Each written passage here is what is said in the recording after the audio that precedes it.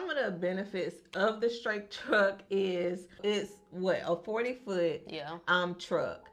Unlike an 18 wheeler, you don't have to worry about um like trying to get up under your truck, trying to do the the snake action to get back up under your truck.